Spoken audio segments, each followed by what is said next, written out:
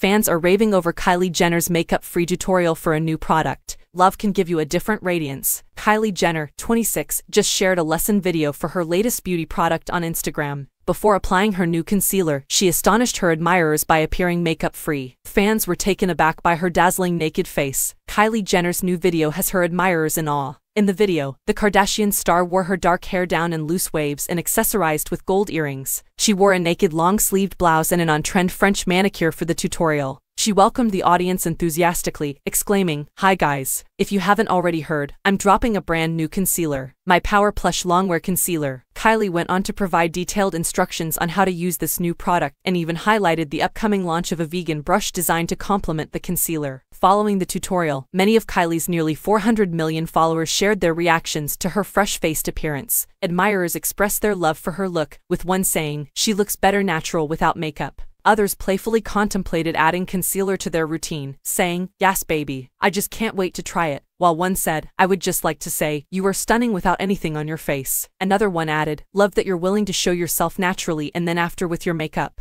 Get it girl. Kylie excitedly revealed in caption, Power Plush Longwear Concealer launches September 27th. KylieCosmetics.com at Kylie Cosmetics Kylie isn't depressed post her relationship with Timothy Chalamet.